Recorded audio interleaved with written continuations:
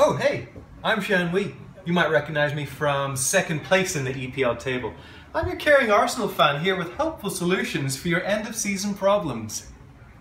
I've been practicing the Heimlich maneuver in case I meet any Spurs fans who are choking. there we go. There we go. Choking again, choking.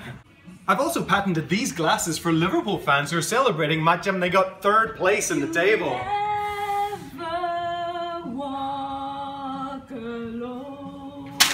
It's just eighth. Look, it's just eighth, okay? Eight. Eight! Oh.